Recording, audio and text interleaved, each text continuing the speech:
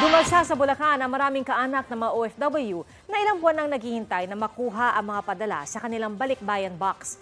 Ang mga kahong ito na galing sa Middle East na pasama po sa balikbayan box scam. Nakatutok si JP Soriano, exclusive.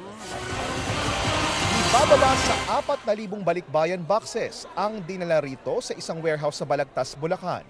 Naproseso at na-encode na ng mga taga Bureau of Customs ang mga package at natukoy kung sino ang mga consignee. Tinawagan na ng mga taga BOC ang mga may contact person na tatanggap ng mga balikbayan boxes at ipinost sa social media pages ng customs ang container numbers na ready for pickup na.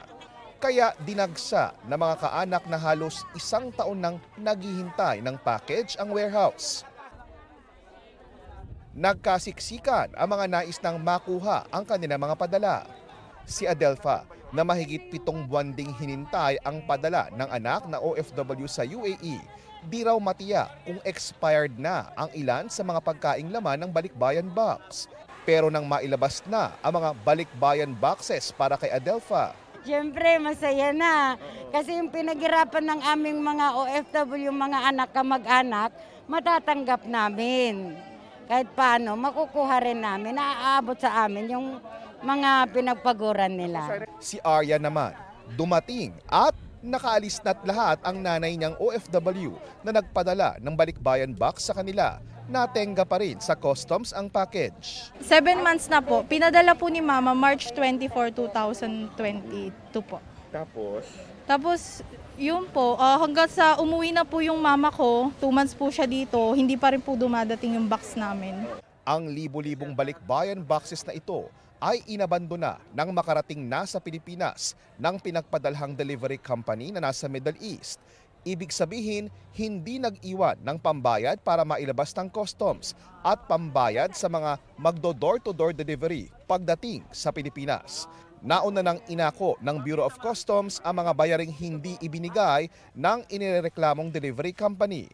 Kaya libre at walang babayaran ang mga tinawagan nilang consignee. Sa gitna ng mahabang pila, inilapit sa amin ng ilang tatanggap na kaanak ang isang lalaking bumiyahe pa mula sa Kalinga, Apayao na bumiyahe pa ng labindalawang oras at gumastos ng panggasolina na aabot sa labing apat na libong piso.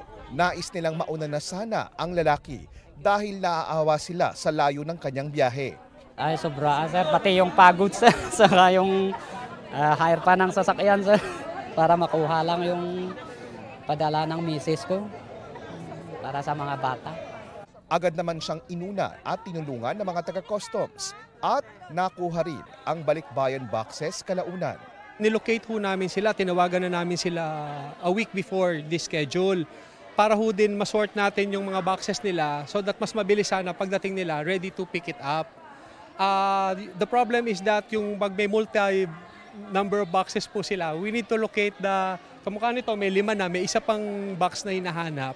And the stock file of the boxes is medyo challenging to retrieve it. We're doing our best po uh, to release it but uh, in recognition ho dito sa kanila pong pagparito, alam po namin yung effort at saka yung gastos po nila. Yung iba nag-arkila lang ho ng sasakyan. No? Nakipag-ugnayan na ang Customs at Door-to-Door Consolidators Association sa Department of Migrant Workers para matunton at mapanagot ang mga sangkot sa mga balikbayan delivery modus. Nangako ang Bureau of Customs na tatapusin nila ang distribution sa lahat ng mga napunta rito sa warehouse sa Bulacan. Bukas at sa mga susunod na araw, abangan daw ang kanilang announcement kung pwede nang ma-pick up ang iba pang container vans na mga inabandonang balikbayan boxes. JP Soriano, nakatutok 24 oras.